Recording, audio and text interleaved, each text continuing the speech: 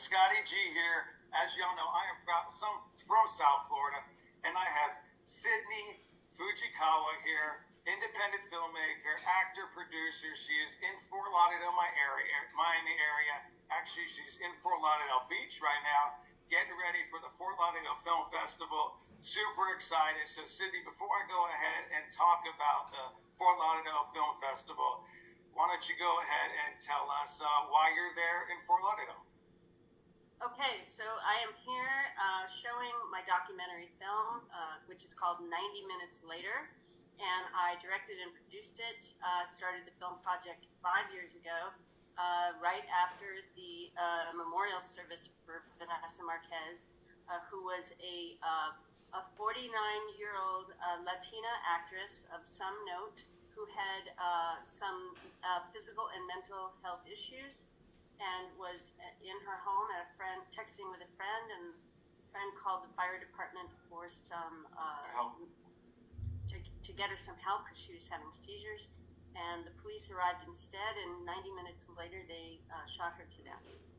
Wow, yeah. And there was a while before they went ahead and really figured out the case or released some camera footage of yeah. what was going on. And, you know, the family was really kind of concerned for a while it was going on. So, you know, why did you go ahead and want to make this film? I know um, you went to the service, um, you did some recording to try to, you know, get some insight on it. Um, you probably wish now that you're making the film you could have filmed, you know, everything for that was going on. But you know, tell us, you know, yeah, yeah. I mean, so yeah, you were so, really involved. So go ahead. Yeah. So so the the the uh, a brief. Uh, uh, summary is uh, I was uh, I had lost my husband earlier that year, very very suddenly. Yes, Dennis, and Dennis uh, was also a filmmaker, and um, I uh, de- uh, our our friend, our family friend Daniel Villarreal. is an actor, and he was in that film Stand and Deliver. And um, he mentioned on social media that somebody in his cast family from that film had died. He put up a post. Right. Yes, yes. And so I, I had, I was aware of it, but I didn't really understand the gravity of the situation because I was in my own thing. But when I attended the memorial, first of all, it was held by the, the cast members who played the kids in Stand and Deliver. They literally to this day call themselves the kids, even though they're in their, you know, in their 60s. Uh, but they came together as a cast and staged this memorial. The other thing they said was, to your point, they said, you know, please don't film this. So everyone kind of put their cameras away. Boy, do I regret that because that footage would have really, really been valuable. Made a nice impact. Yeah. After I realized what was going on and who she was and what was so special about a group of actors all these decades later, kind of laying one of their own to rest and asking really important questions because no one knew what, what had happened. No one knew how, to, how many bullets had gone up. No one really understood why this had happened. So there was nothing but questions. And later, uh, uh, when I was starting to kind of realize what this all was all about, I said I suggested to my friend that you know if he wants if if he does go and seek uh, more truth about it, you know he should consider taking a, a, a cameraman. And then he he said no no no no no no that's and then he called me a few weeks later and said, let's do that. And he said, can you help me? So I had a friend who uh, was a uh, works as a cameraman in uh, reality TV, like Storage Wars and and uh, uh, um, Naked and Afraid and things like that. So he had a setup, and he said, "Why don't you have your meeting at my house, and I'll just turn the camera on." Oh wow! And that, yeah, and that's what we did. So we were like, "Okay, well, now we have a, now we have some more questions." That's really all we had was more questions and then we just kept going. And the answers didn't come ever, some of them. Um, but we certainly amassed a lot of uh, a lot of a lot of questions and a lot of information, um, and that's that's our film. Ninety minutes later. And, Did they uh, dive into the not just the physical, but maybe some mental, um, you know, conditions? Yeah. So um, you know, we we were we at one time were very very spending a lot of time with Vanessa's mother, and she had like all of Vanessa's paperwork in a box, and we had hoped to get into a discussion with her about what uh, what was really happening with Vanessa and her body and her mental health. Um, uh, we never we never got that information or understood it. We never talked to you know as and and we were not we didn't necessarily have access to caregivers and doctors, but we certainly talked with a lot of friends and a lot of professionals.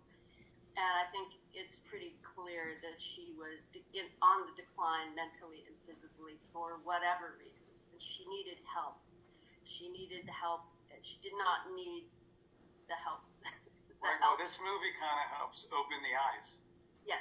You know, to that perspective. And in the industry that I deal with, you know, I see a lot of, you know, conditions you know, that, you know, people really look for alternative, you know, help to be able to yeah. get. So, you know, I see the uh, success stories, you know, I, I, you know, I hear a lot about, you know, the conditions and it doesn't just affect one person, you know, it affects, you know, 10 other people because there's a lot of people that are in that family.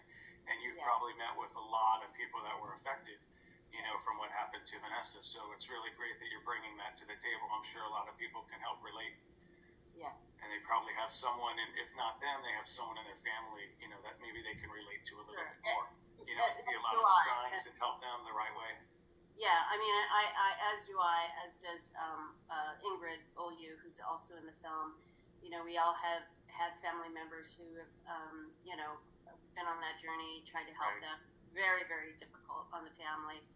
Um, when, when at the memorial, um, the uh, after the formal thing, after all of the actors had spoken and and uh, uh, all all the kind of formal program had ended, the the event sort of moved out into the lobby, and there was a, another round of more ca- more casual eulogies.